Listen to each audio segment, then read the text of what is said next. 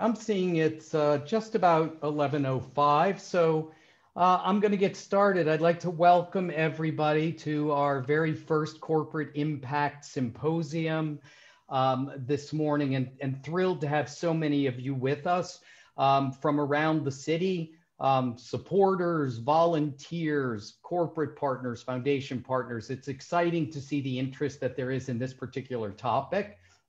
I would like to start first uh, by welcoming our moderator, Joan Steinberg, who's Managing Director of Morgan Stanley, President of the Morgan Stanley Foundation, Dr. Rahsaan Harris, CEO of Citizens Committee for NYC, and Melva Miller, who is the CEO of the Association for a Better New York.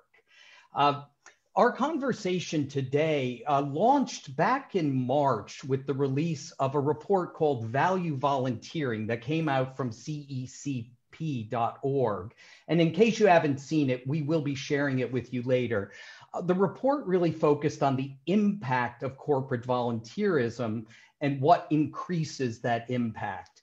As that discussion started, because everybody on the phone is deeply concerned with corporate impact and deeply invested in companies being a part of the fabric of New York City, uh, we also thought about this moment in time right? As we are all striving for an equitable reopening of New York City uh, with a pandemic that has affected the entire city, um, but different areas of the city and different people within the city at, in very different measures. We wanted to come here today and say, how should corporate volunteering and corporate impact in the city think about the coming years? using this as a moment for us all to be better at the work we do.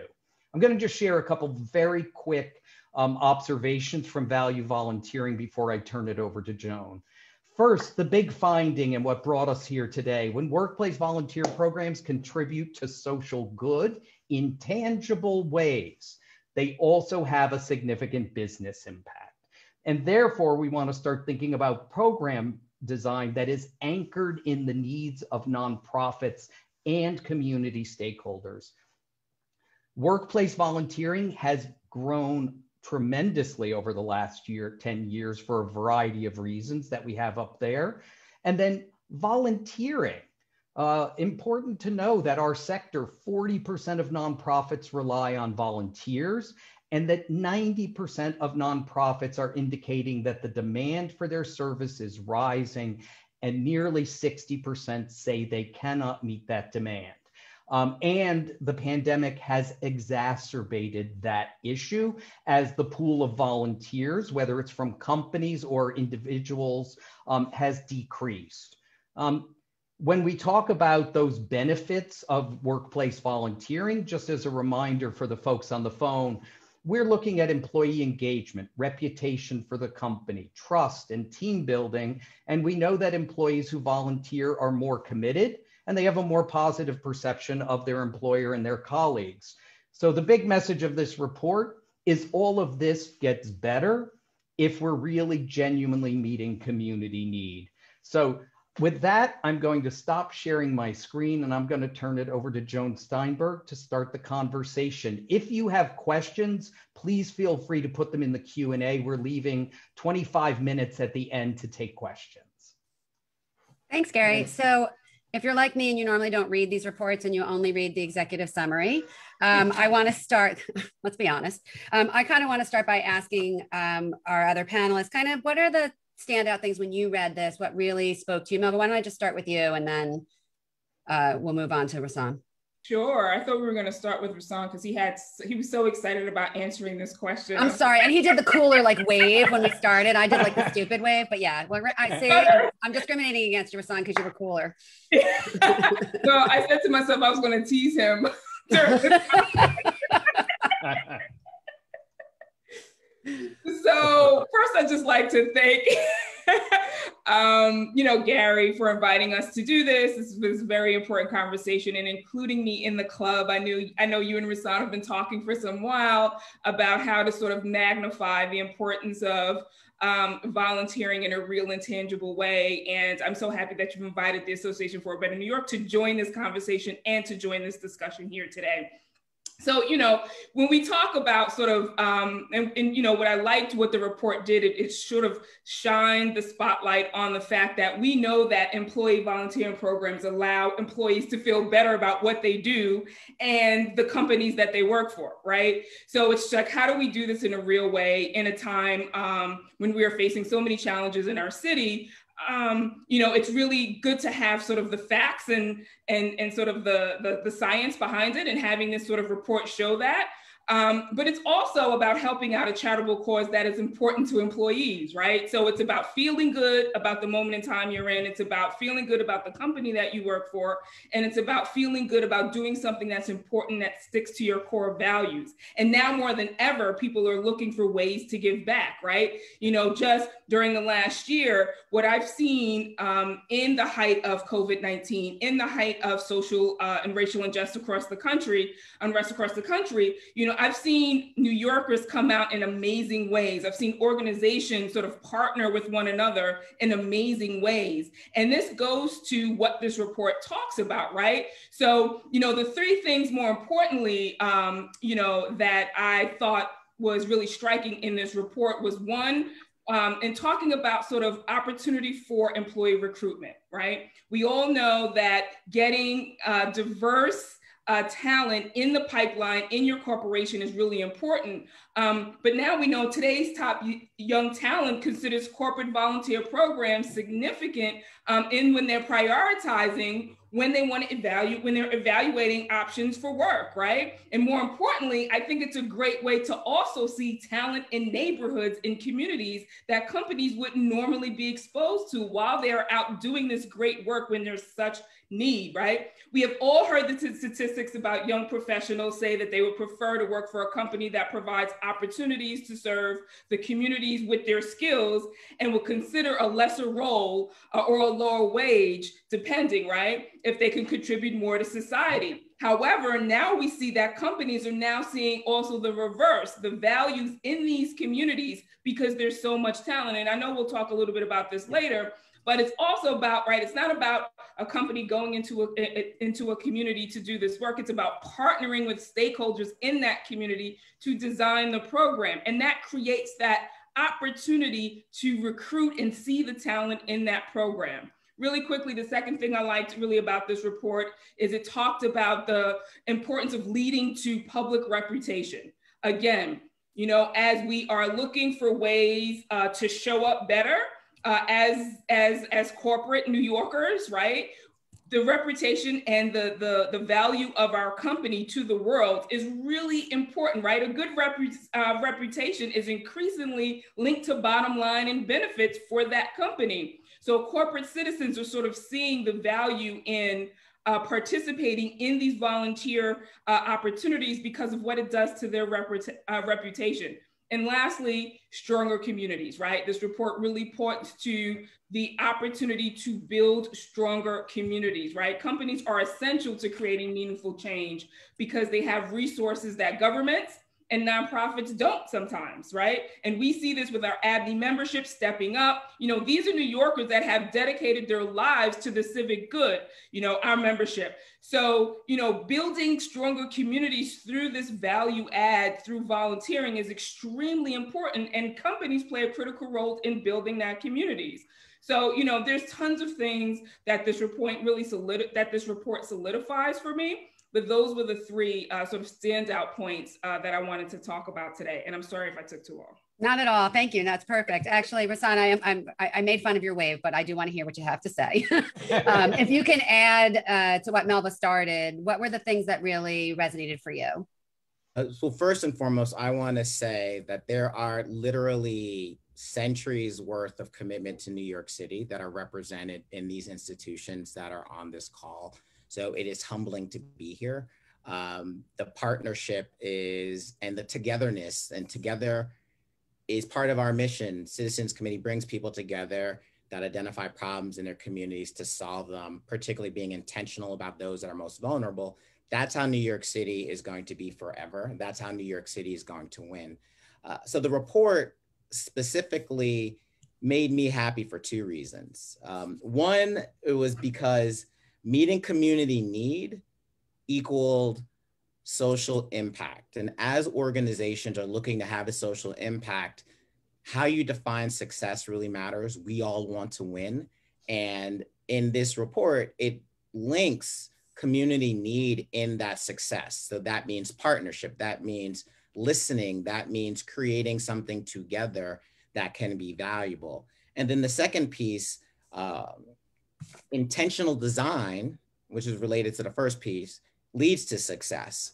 And intentional design has a lot to do with how we define value. Um, we talk about value and something valuable being worth, but you can also talk about value being beliefs. And so in your design, if you recognize what you believe and then how what you believe can be utilized to create something that is worthwhile and valuable, and going to Melva's great points about winning and success and creating value in a company has to do with keeping talent, keeping folks aligned, keeping folks happy, particularly in this world where things are a little bit upside down.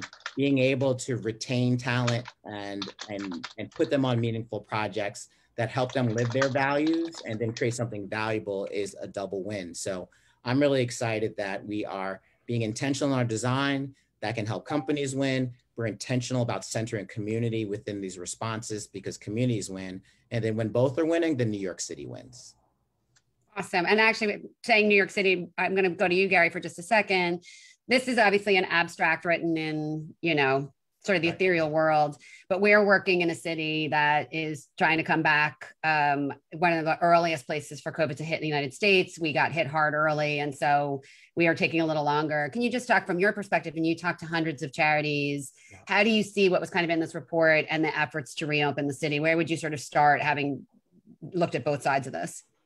Yeah, I think there was a huge opportunity um, in all the struggles we had over the last year because in times of crisis and disaster, that is a, the one time that I realized we totally go to a space of saying, what do people need?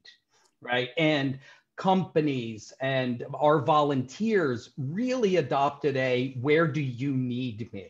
So I, I think there's a moment to build on, to not let go of. And as we're reopening, um, the thing I, I do want to let folks know is that, and I think we're all aware of this struggle between being optimistic and then knowing the lines at the food pantries have not decreased, yeah. right? So I'm optimistic because I'm going to ride my bike to work. Um, I'm optimistic because I don't have to wear a mask everywhere, but I am riding by the lines, right? So I think in this moment, um, I would, and this is hard post disaster for everybody, it's to say, don't forget this is still happening, right? And take the energy you brought to the last year of saying, where do you need me? And keep that as institutions and as individuals. And I want to take pick up from there because I think one of the things that we're all struggling with on the corporate side is um, uh, we used to do a lot of things that were in person volunteer based. And I, I do want to talk about like days of service, months of service, but a lot of us have sort of hybrid gone into a lot of virtual opportunities. Yeah. We don't have full employees back in our offices. We may not have full employees back in our offices, even in the go forward. So I kind of want to ask the panel around how how do we do this in this moment particularly melva to your point that a lot of the communities that need the service may be physically very distant from where if people are in the office they are but also distant from where they might live and so, how are you thinking about that? How are your partners thinking about that? And where does virtual get to live maybe going forward? Maybe I'm just going to start with you because you started with some of the faraway communities. I'm going to start there, but I want to hear from everyone. How are you trying to manage? I will say, as a corporation, we're struggling with how far we try to push these things because we're not sure who's going to be where at any time. Yeah. So, I mean, I'd love to jump right in on that. Um, you know, it's really about providing the opportunity for employees, I think, because again, um, what I've found over the last year is that people are dying for ways to give back and contribute if they can, right? And I think it's about create, being creative, it's, it's about being innovative, and it's about giving them the opportunity to do in person or virtual or write a check, right? We all, we need we, we need them all. Um, so, you know, whether, and I know we're going to talk a little bit about this later, but whether it is sort of more skill based in providing opportunities for your employees to donate their skills for certain efforts. Case in point, This pandemic came in the middle of uh, New York trying to count uh, New Yorkers for the decennial census. And a lot of the uh, opportunities that we had planned for outreach were in person events. We had to quickly pivot and change our strategy to virtual events. And we had tons of companies, um, corporations who volunteered to step up and help New Yorkers be counted. So we had to figure out how we could match uh, uh, corporations and organizations with community-based efforts, um, and particularly in a virtual space. So whether it was helping them with uh, online digital campaigns, right? Using sort of skill sets in their organizations to donate time and services for these community-based organizations to get New Yorkers counted. Um, you know, again, making sure that we provide all types of opportunities because we've also seen companies uh, promote volunteer days, whether it was at food pantries where we did um, combination census outreach, PPE distribution, and food distribution. And employees stepped up and said, either I live in this community and I want to uh, volunteer and, and, and, um, and provide a day of service here, or they went to other communities because they've never been there and have been hearing so much about these very distinct communities that have been hit so hard by COVID that they wanted to do something. So I think, you know, as we think about reopening and reopening safely, uh, and understanding the assets that we have at our disposal, it's about multiple options. It's about being creative and innovative and giving uh, citizens of this city the opportunity to go local or go far, right, to Staten Island uh, if we must, to uh, to uh, you know provide some services in this much uh, uh, needed uh, time. So yeah, I think it's just about being creative and being innovative and being nimble. Rahsaan, you want to add to that? Oh, for sure. Um, first and foremost, uh, one of these uh, behind me is a Staten Island school. So you just shouted out Staten Island, so thank you very much. Citizens Committee serves the five boroughs. We have grantee partners and neighborhoods in all of them. And to your point, uh, Staten Island feels sometimes that they don't get as much uh, attention as others. So it's really figuring out. I'll start with this point that a lot of corporations can hopefully benefit from. Your employees live in communities, and a lot of employee giving programs that allow folks to designate sometimes that's data that you already have that gives you a peek into what communities people are in and what they care about. So I think some of the the corporate social responsibility programs can mine that data to figure out where folks are. Um, and then Melva talked a lot about the spectrum of engagement. On one level, it's send the check. That money means a lot, and that's helpful. And thank you. On the other level of the spectrum, it's being involved in the strategy and the implementation of a project. And then there's all this stuff in between. And there's not a right answer, but I think folks need to figure out where on the spectrum they would like to put their time, talent, and treasure to be useful. And if you do that analysis, that's uh, extremely uh, important to figure out where to begin. And then specifically for Citizens Committee, this question is near and dear because my first day was in the office on March 16, 2020. The day New York City shut down was my first day running this organization. Thank you very much. So we had to literally do everything build culture, create systems, get folks to feel that mm. they're heard, get feedback loops remotely. We also have grantee partners that are in all the communities in New York City. So we did phone banking as we put out a survey asking New Yorkers what they need that helped inform the first round of grants that we made. We have a bunch of folks that are filling out applications to apply for our micro grants. The social capital being connected to someone that can even reread what they said and see if it's clear and articulate and makes the case for getting funding would be great. So connecting folks that can be mentors just to even read over a narrative mm-hmm. that's being submitted. You know, there are tons of things that you can do that are from afar, are uh, potentially hybrid. And then, you know, the, a community garden, uh, you know, garbage being picked up, telling folks to get out there to, to make sure they vote uh, for the primary and for the election. Those are things that folks can get out and do. But I think it needs to be grounded in listening what people in community feel comfortable doing because there are going to be difference in culture of where people want to show up and who feels like they need to wear a mask into 2025, and then also figure out where value can be added. Yeah, so I, I, I want to talk a little bit, Gary. You're like the king of uh, community service month, so we're gonna I want to pull you in here. but that's one of the things when I was reading the report that I reacted to as a corporate was the pressure that nonprofits feel to like come up with BS activities for employees to do that aren't the most meaningful, but they recognize it as a way into the company, a funding source. Yeah. And listen, we all run our days of service, and not every project yeah. is as meaningful. So I'm, I'm really interested in that continuum and what your take is on it. You know, I will only say, um, and we talked about this when we were prepping for this. I love these kinds of reports, but they're not they're not Bibles and they're not there's I don't I want to take the judgment out of there's good and there's bad because some of those things actually do create a different value. It may be the first time that employees volunteered anywhere. And if it gets them on the, the, the, pathway to do more, it had value, even if what they did maybe in that second didn't. So Gary, you help a lot of companies yeah. plan this. You know, how are you starting to think about that continuum where, you know, community days of service, let's be honest, the communities need and the nonprofits need, it may not be as impactful or upfront in some of those yeah. projects. We're talking volume than it might be with other things. To talk a little bit about that from your perspective it's a, it's a great question. And I think, you know, impact is still central to it, right? If we go to a, a place and we didn't feel like our work was necessary, that's a bad first experience, right? so if, if, if we're looking for exposure, we want to be exposed to something good. I will say from the nonprofit side, and this is something we we work very hard with it uh, on and are are very intentional increasingly about speaking to communities is a lot of communities and nonprofits are sort of so convinced that they can't get help that if you say, What do you need? they don't have an answer. Yeah. Right. So part of our role, and sometimes for us, it's, you know, being with a school and saying, Hey, could you use some gardening outside the school? And, and there really is a, oh, we could have that right? So not every not every partner is rolling their eyes going i don't want a big day of service right? Um, and so i think the intentionality is for the company to say how are we still connecting meaning to this big one time event?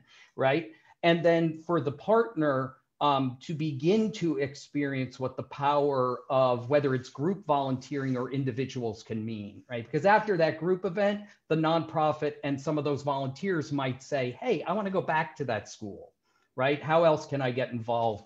And the other thing I would say in this moment in time, and this builds off the report and this concept of virtual, and I think it's a big balance we're going to have to make, um, is listen, we can get more volunteers to the South Bronx virtually right now yes. than we can get there in person. So, you know, there's this moment where it's like, is the we don't want the perfect to be the enemy of the good, but at the same time, you know, one of our values and one of the reasons I think all the groups on this call are so powerful is we all believe in showing up, right? And so, how are we going to balance the humanity of I went to that school um, with I went to that school virtually? Because both are important and both give us a, a chance to really grow and increase our service. I want to dig in there a little bit because a lot of, not all, but a lot of the virtual stuff that did come out this year was a little bit more skills based and a little bit more into pro bono because it lent itself to the forum. And I think we've been really focused on that and interested in trying to grow people who are interested in causes into thinking more about giving their skill set. Yeah. Um, but we have found the nonprofit community isn't always ready um, for how to use those skills. So, Rahsaan, I want to start with you. How are you thinking about is your, you know, so your community organizations are getting together and coming up with ways they want to solve a problem. How ready are they, or how are you working with them to get them ready to work with folks like us, whether that's virtually or in person? But now it seems a lot more like virtually. How how do you think about that that part of the, the continuum? So I'm going to say something that might sound blasphemous for my organization. so I'm just saying right now although we give out, we gave out over a million dollars in 2020, I believe our most valuable piece is our social capital that we confer. that said, corporations that are ready to have individuals, prime, I mean, not primarily, but particularly hungry, young, ambitious folks that want to try out skills that can have great business success, but also help a nonprofit innovate that that is really exciting So I was a Peace Corps volunteer in South America. I was a 22 year old running around. Uh, I realized I was free labor, but I wasn't necessarily a lot of wisdom. And so in these volunteerism spaces, you got to create a dialogue where folks can listen to each other and figure out when folks are ready. But I will tell you from our Zoom meetings that we have for Citizens Committee, we do what we call a neighborhood chat every third Tuesday evening. Folks are in breakout rooms, they're meeting with each other, they're they're creating relationship and things are happening. It is all the more valuable if we had corporate partners and other stakeholders and politicians that are in those smaller sets of five and 10 people, and you can figure out who's ready to like help me write my business plan or someone's like listen i just figured out how to use my iphone like i'm not ready i'm not going to get on clubhouse uh, and and they, but there's a range but it really starts from listening first before acting as opposed to making assumptions but i think there's a hunger there's an appetite for folks to be connected where folks that can give them access to a larger world of exposure and social capital that's out there so I, I, completely agree. And I was also going to say for the companies that are on this, for individuals to use their skills and to join something like your your chats is probably easy. I think when it comes to more time intensive plans, as corporations, we just need to be honest that it's a bigger commitment by the corporation. It's a time suck of our employees. And for the people who are running those programs, you don't just get to hand them off. Somebody has to manage the process and keep the wheels on the track. So I, I want to talk about the investment that goes in. But before we completely get there, I actually want to talk about something else you mentioned, and it comes back to this diversity issue and particularly equity in our communities about who's also going and who's serving who.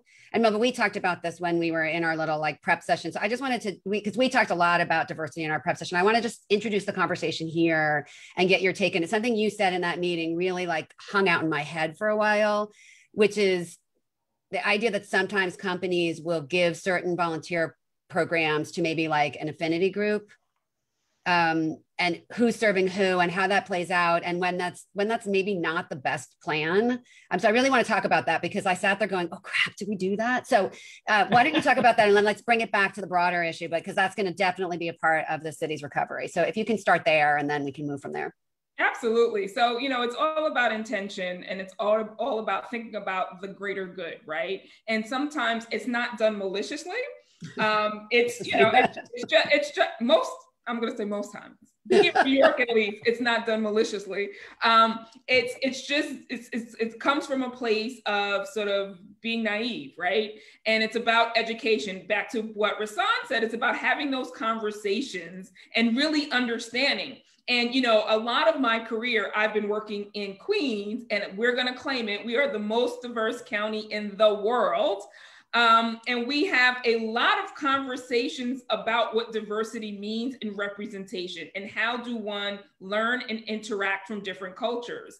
And, you know, it's really important not to make assumptions about a need or a culture, but have that conversation first. And I think, you know, um, if you are transparent and you're open and you're, you're uh, okay to have that, you know, sort of a discussion with yourself, then you can have that discussion with others.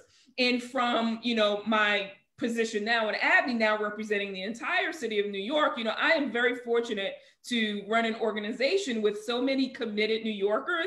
I would say there's a large number of our members who've been members since day one. We are celebrating 50 years this year. And these are corporate citizens that are really invested in the city and, you know, have no problems writing the check right? I guess from day one, you know, we were founded in the 70s during the fiscal crisis. And what, you know, our founding members did to prevent the city from filing bankruptcy was to write a check right? They prepaid their property taxes so that the city wouldn't have to sort of be in such a terrible financial crisis. So that part is easy for our members. But, but moving into the next phase where we go beyond writing the check and sort of getting more hands on and implementable in communities is where we are transitioning now.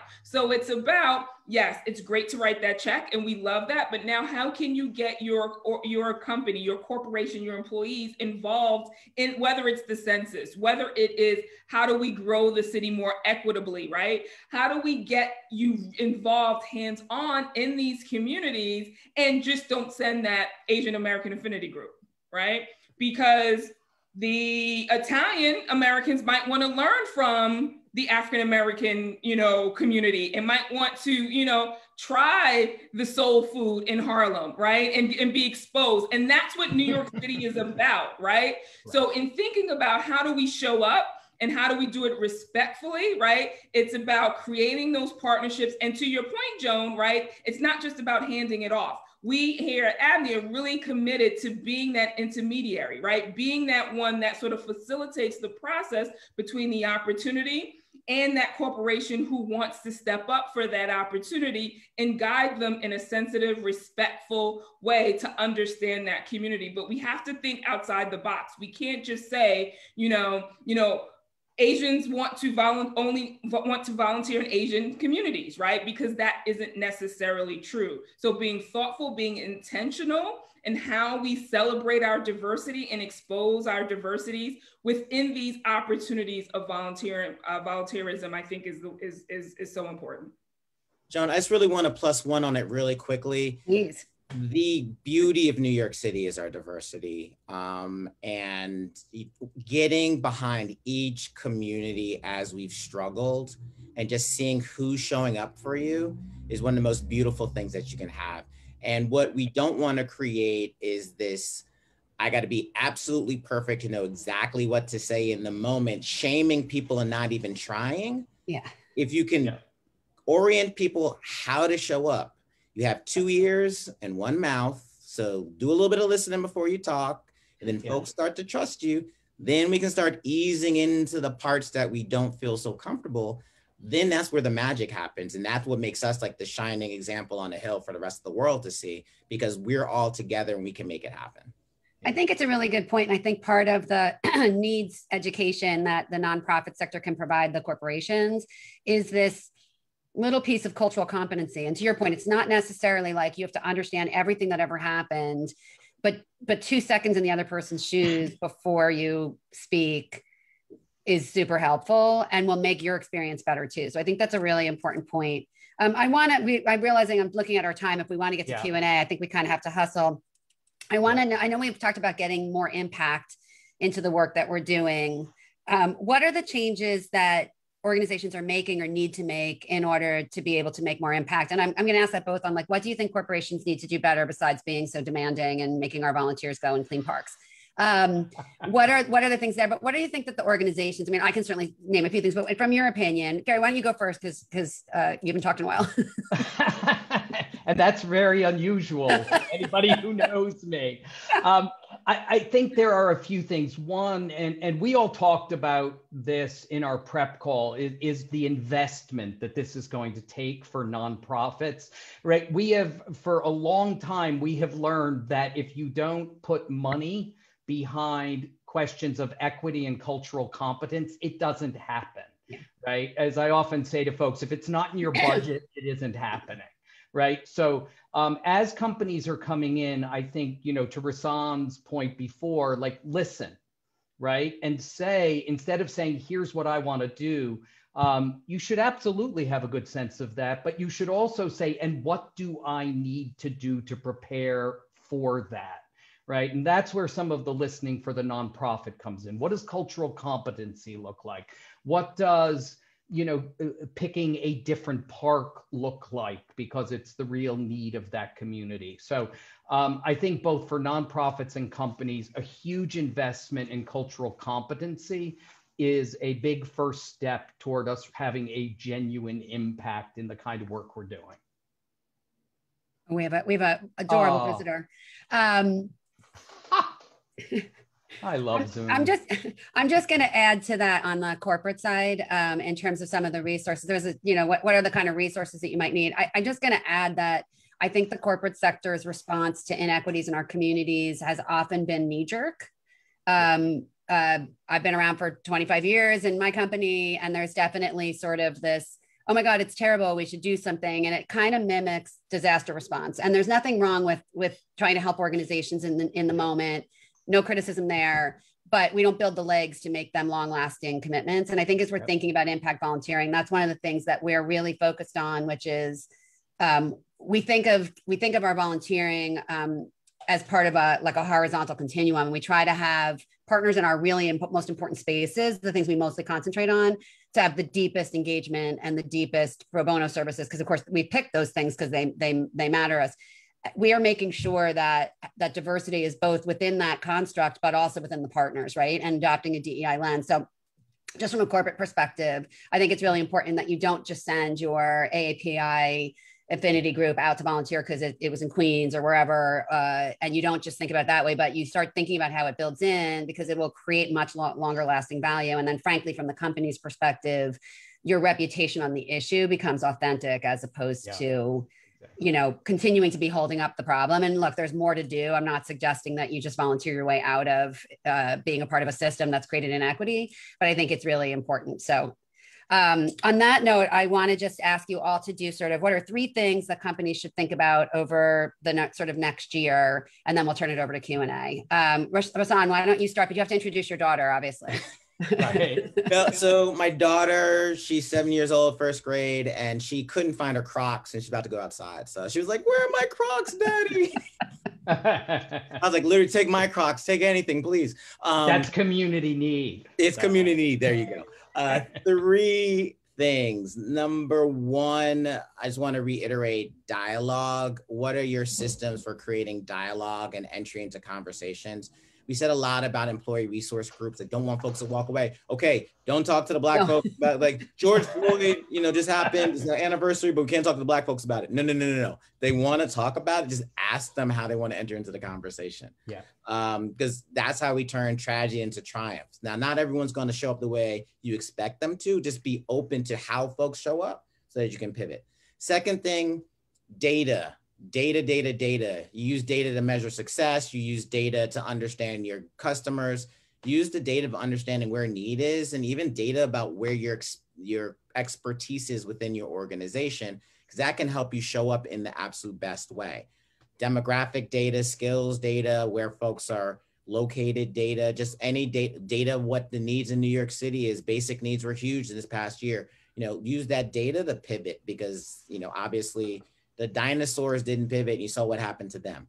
And then lastly, um, use common sense. So discernment, you know, discern, you know, is what I'm proposing really going to pass the smell test of being valuable? Is it meeting our values and is it valuable in community? There was a big article about Goodwill and the amount of trash Goodwill gets rid of because folks don't sometimes discern hey, are these old Crocs useful? Would someone want to put their feet in these Crocs afterwards? Or is this really trash and I need to like really get the pair of shoes that I never use that will be used? So if you use discernment as you're volunteering, uh, then that will help you figure out is the community ready to take what you want? And also, can you really provide the double value, like the worth and your beliefs aligning to make sure you have the greatest impact? Melva, you want to add your three? Sure. I thought we were going to jump to Gary. Um, no, we, we have to let him sort of end. He's got to wrap it up. We got to let him talk. Because yeah. I'm gonna whether you ask me to or not, right? I, make it look like it you meant it. I love it. I love it.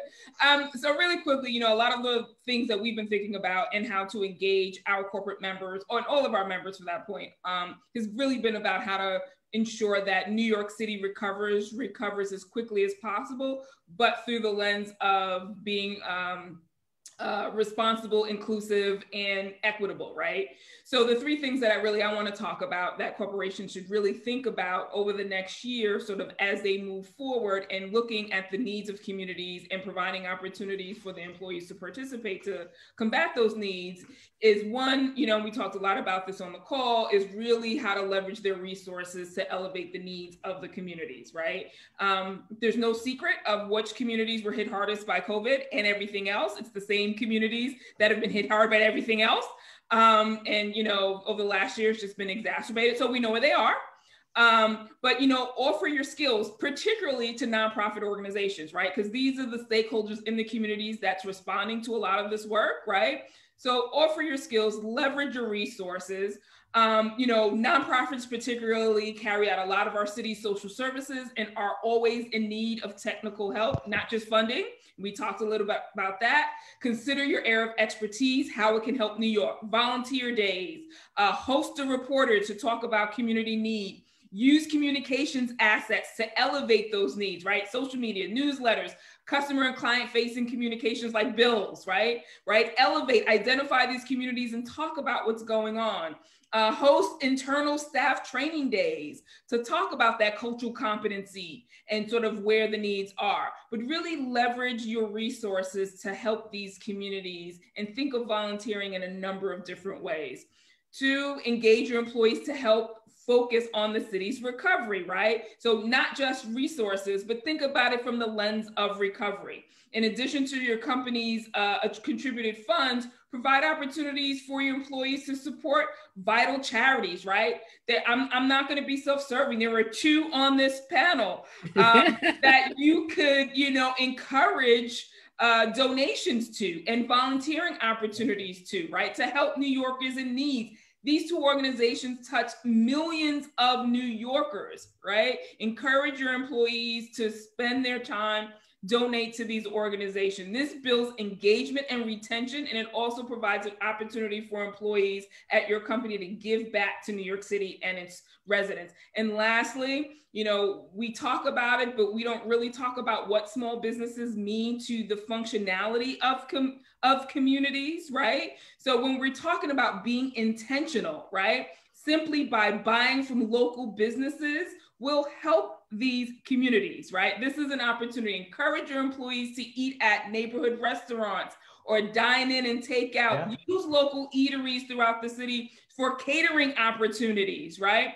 Purchase goods and services from local small businesses, especially minority, women, immigrant, veterans, uh, L- L- LGBT are now certified, right? Own businesses throughout the five boroughs, right? They exist in all five boroughs but giving back to your community through uh, purchasing power and through small businesses is a huge way that you can help communities and, and whole. So I'm gonna leave it on those three.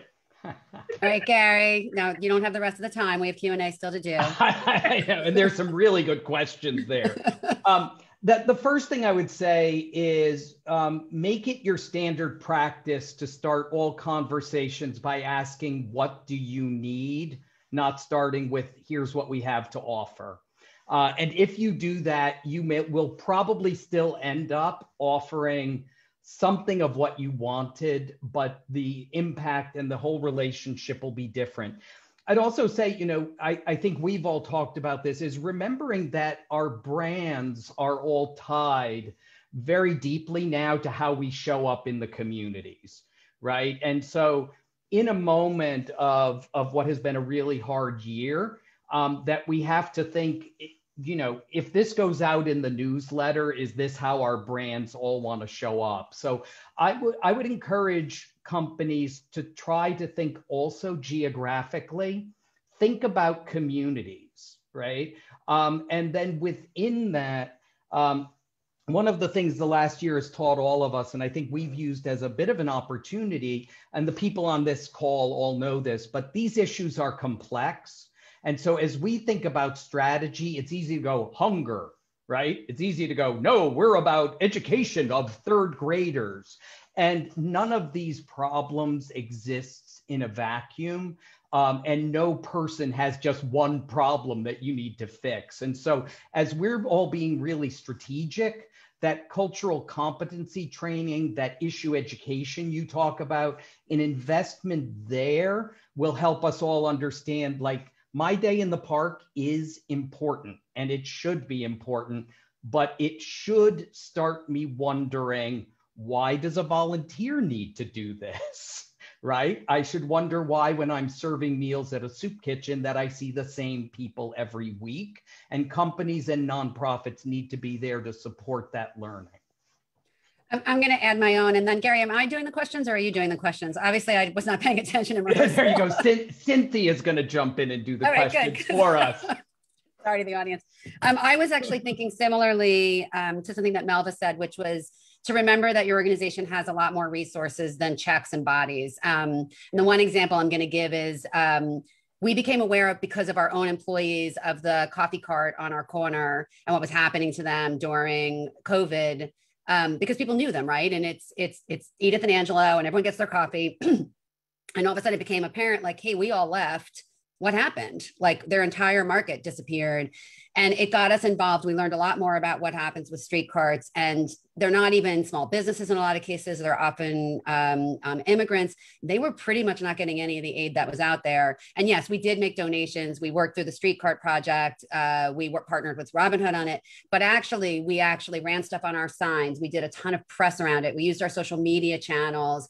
Uh, we filmed Edith and Angelo and had them tell their story. We shared with employees where they could give because what we realized pretty, early on um, was that it was a really invisible problem, but it was affecting 20,000 uh, carts and, and, and 20,000 families are very often family owned. So it was a lot of people that were getting affected by that. And it was really obvious why they weren't going to have any business. Um, thank God we're starting to come back a little bit, but that's a great example where it's, it, you know, yes, we gave money, but I think you have to think about it um, from all of your channels. Um, Secondly, that there's a 10 year lag. We know from historically when there's an economic recovery that the people on the poorest ends of our spectrum lag by uh, almost a decade. So, as we're all celebrating that we can take our masks off, you know, we have to be really honest about what's going to happen in our poorest communities, which of course suffered the most. And then lastly, when you're thinking about skills based giving and particularly pro bono giving, we tend to think of our own employees as being so smart and aren't they so amazing?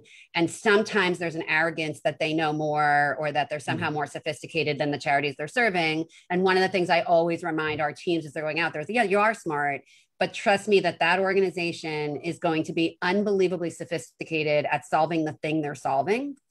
And so while their financial books might be in a shoebox uh, their technology might not look like yours does their their smarts and their effort around the thing they're solving is unbelievably sophisticated. Do not underestimate what they're bringing to the table and don't think you you can just you're not going to come in and fix them. You're going to come in and really understand what's happening with them and give them better tools to do the thing but don't underestimate how smart and sophisticated they are. Because that's i'm sure you've all dealt with it. And i'm sure it's not unique to my company but um, that's just one thing like go humble uh, would be my advice so um, that's great. Is Cynthia going to do questions and then we'll yeah, Cynthia, you want to jump on? There you go. sure. We have um, quite a few questions, so we'll see how many we can get to. And I think some of the earlier ones may have been answered already. Um, but we have one volunteerism seems to be an elite opportunity. How can we engage all people in meaningful ways that we ensure connects communities in need with talent for a multitude of outcomes? So I love this. Um, I grew up in the church community that always talks about everyone has time, talent, or treasure to give. And don't make assumptions about what folks have to offer. I also did my dissertation on Black philanthropy and trying to understand the difference between the Black community giving and their white counterparts. And we all, and it's in the question, experience the world differently. We have different family and community commitments and connections based off of where we are. And it goes back into, I think, the discussions you have with folks and analyzing the data to figure out what can be useful. And, you know, we're in the midst of a campaign right now because we couldn't have a gala. And the question was, well, who do you send the invitation out during this campaign? And it's everybody because everyone who signs up for our newsletter everyone that uh, gives five dollars, someone who gives like fifty thousand dollars, and everything in between matters because you know to the points before Melva brought up a bunch, and so did Joan and Gary. Social media, getting folks out there, building culture, building awareness, you know, creating community. When we did the phone-a-thon for my company, folks were just happy to hear a voice on the other end. So there's so many things that folks can do. And I think it goes into understanding again what is your organization good at and what can you collaborate with community to do well? And if you're willing to listen time talent or treasure they all can make a difference.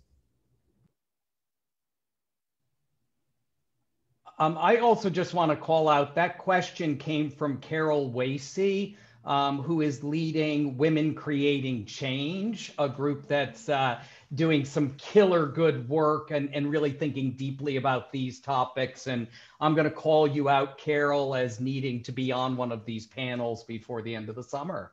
Um, great question. And, and the only thing I would add, you know, very, very quickly is that, and we think about this frequently, is that free time is for many one of the first luxuries they might have in their life. And so uh, one of the things I would say is we we used to say, "Oh, look who volunteered the most. They're the best," yeah. and it was like, no, they have the most free time. And yes, they may also be the best, but that idea of of of stopping to talk, stop talking about volume and think about quality of service, because the person who's shoehorning in 30 minutes a month might might be, you know, it, it's a huge priority for that person one last point on that. Because the sh- uh, the carts and supporting small business that's not volunteerism but that's right. a culture shift that has a great community yeah. impact. So our frames is it paid or is it not paid? Is it for profit or nonprofit? It literally does it advance community and make things more equitable yeah. or not should be the frame not you know what's the tax designation? Is it a 501c3 or not? Right. Agree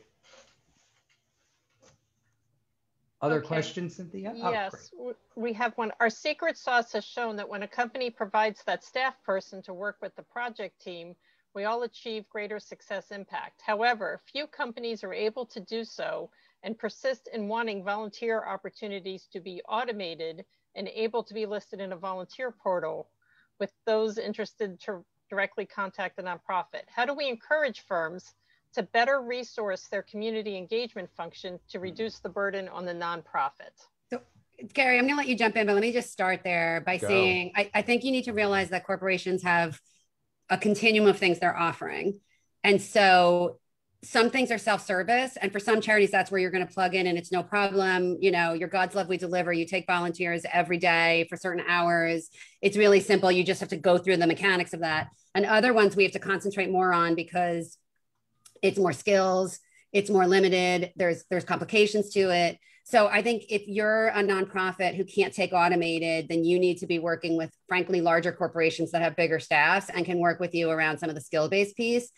Um, the only thing i would just point out there is that you know you're going to have two or three people even in a big company who are concentrating on this and are trying to do this for 50000 employees. So you need to be a little bit realistic about how much time they're going to have. If they have a really structured program then they might be the best outcome outlet for you. And if not, then you may want to talk to Gary. um, and I'm going to have you jump in around how you can use an intermediary to help you. Because I just want to be realistic. Like we would love to say that we could handhold everyone.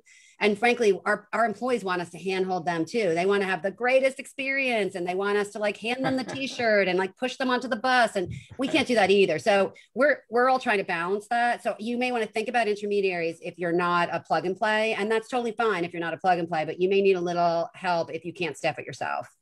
Yeah, and uh, uh, jo- Joan said it very well. I think companies, part of what they, needs to happen strategically is understanding like how much can you own, and then you know uh, uh, we're all part of an ecosystem, right? So being able to take a, vol- a volunteer and send them to New York Cares, or recognizing that your capacity to do the day in the park or to understand the need in a particular community right? Like that takes work and it takes a lot of resource. So working with groups who are present in the community and dedicating your time there i think will help you scale those uh, programs. And we all all volunteers want us all to hand them the t-shirt whether oh, it's God, joan yeah. or me or you know it, it's a you know and and that's that's a good energy right? But but we all have to figure out like how how we can also get more done in, in a smart way.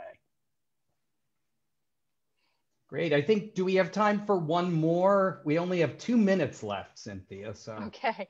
Um here's one our organization deals with addressing social isolation, which is such a major concern during the pandemic. How do we keep social isolation on the corporate radar screen along with hunger and other more data driven issues? I just want to make a quick plug the, the hybrid method, you know, uh, get ha- keep having Zooms, keep creating community. So many networks that are rich in social capital have formed during the pandemic. You keep that going. but then also utilize what's digital and try to get that in the real analog world. And if you can have a mix that's right, then you can really take care of it because you're absolutely right. Some folks, you know, are scared that the mental health impact of this pandemic is going to be with us for some time. And getting folks out of social isolation, either because of geography or where they are mentally, is, is going to be a real issue. Okay, total shameless plug, and I swear to God, I didn't plant this question, but uh, Morgan Stanley launched the Alliance for Children's Mental Health in February of 2020, not having any idea what was mm. going to come. Our innovation awards are out now. There's an RFP. We're actually putting out funding for innovative ideas in children's mental health, specifically around anxiety and depression, which the social isol- isol- isolation is a huge part of. You guys know, but 70% of kids are reporting either a depressive or anxiety episode due to this. Massive, massive issues. And it's not like when we come out of COVID, they're going to be great because there's going to be huge reemergence issues. So, shameless plug, you can definitely take a look at that.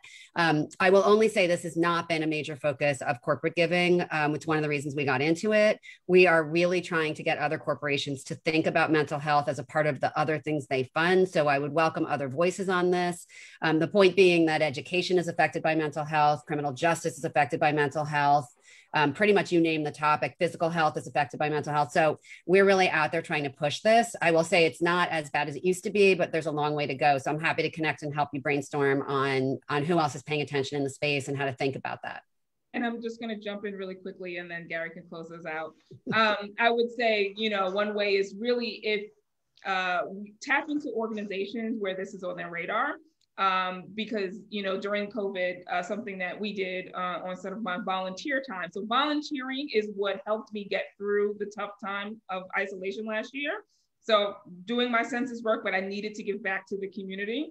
Uh, we started this thing in Southeast Queens called Southeast Queens Wellness Ambassadors. And the sole purpose of this was to reach out to Southeast Queens residents, both seniors and, and individuals who were suffering from isolation and other sort of possible mental illness and connect them with people just to check on them regularly. So for instance, the Southeast Queens Wellness Ambassadors for Seniors, we partnered with three, three senior centers uh, who were now closed because that were closed because of COVID. And we had over a thousand volunteers call a group of seniors from 10 to 15 seniors every week for four months just to check on them, right? Find out how they were doing. Did they get their groceries, right? And then what we would do is we connected back to the senior center to follow up and provide whatever services they need. If they weren't getting their groceries or the New York City meal program wasn't working out or they needed their medication. But we had volunteers just call seniors every week. And those relationships still exist till today. I have volunteers calling me. My senior said, I'm like, the program over. What are you doing? Why am I up with your seniors? Um, but then we did the same thing. We we partnered with a consortium of mental health professionals, social workers, and other types of clinicians. And people called the hotline, and these clinicians provided mental illness services, um, for mental health services, not mental illness, mental health, because we all need mental health uh, services to those who were uh, dealing with this. So it's really tapping into those nonprofits yeah. and those communities that are aware of this, and then creating a program around it that I think um, you know we that's much needed over the next couple of years after COVID and what isolation has done to many New Yorkers. And I guess as, as I as I'm going to help us sign off, I would say um, isolation uh, and mental health issues are one of those issues that um, has been amplified over the last year in our awareness. It's one of the ones where I say don't go back, right? Like the, the we actually learned a tool that if we visit the senior center, that's great. And it's great if we call, and it's great if we stop by your apartment building and drop off a meal, right? And part of the catch of isolation means that we're not looking at it every day, right? So it, it's something we actively have to remember. Um, speaking of actively remembering, um, I am now remembering that we're three minutes over um, with uh, just I just have to thank you all so much, Joan, Melva, Rahsaan. Um, your conversations energize me and my work. I just everybody. I know you're not on camera, but please give virtual applause um, as you're sitting at home. There are a bunch of questions in the Q and A. Um, you have my promise that we're going to go through those questions. We're going to share back with everybody who came here today. This has been recorded. We're going to make sure it's available on YouTube. I see viral in our future. I don't know about you. Um, and that I think based on today's conversation, um, I think we have to promise to come back and bring the band back together in the fall and take on our next topic. All righty. Thanks everybody. Again, have a wonderful day and go go like go make some change, okay?